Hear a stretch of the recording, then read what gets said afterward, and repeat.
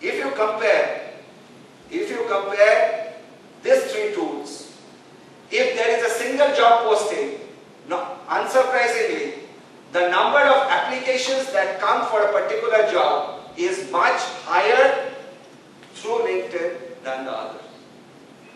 Twitter is higher than Facebook. The next slide. What is most interesting is, if you see as a percentage of connections, Twitter actually scores higher than LinkedIn. So, if an potential applicant is following a company in Twitter, the chances he is more likely to apply than a LinkedIn connection.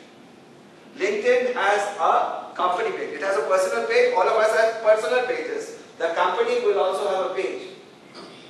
So if a company has, let us say, 1000 followers, there will be maybe 50 applications for a job.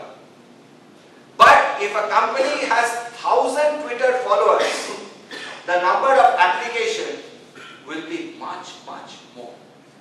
Twitter is a much more engaged audience